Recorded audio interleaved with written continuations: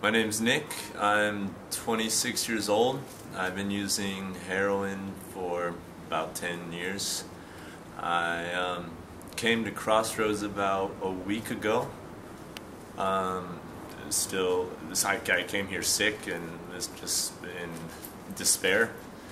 And the staff here is very generous and very accommodating to those feelings you have. Um, the Ibogaine experience was something else. I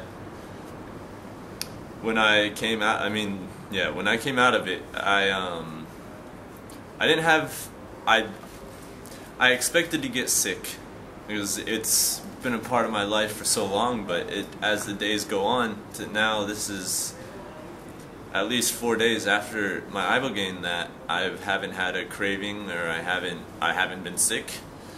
Um, it's it's been crazy. It's it's it's almost hard to believe, but it's it's true.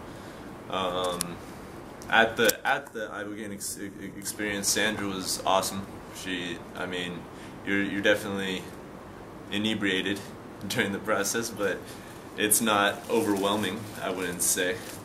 Um, the Toad session was, or the 5-MeO DMT, that was enlightening. Is the only way I know how to put it. Um, every day here, I feel so babied and pampered that I it's it's almost it's almost un it's almost unnecessary but it's it's been really nice. It's it's been really cool. Um, after I leave here, I'm I'm going to a 90 day treatment center, but that's on my own accord. But I don't. Right now, I'm not feeling like I need that at all. But it's it'll be good for for me in in my situation. But most of the people here aren't. They're they're going straight home and feeling better and it's it's quite an experience. As the days go on, I believe it more and more, and it's it's true. You you don't get sick. It's, it works.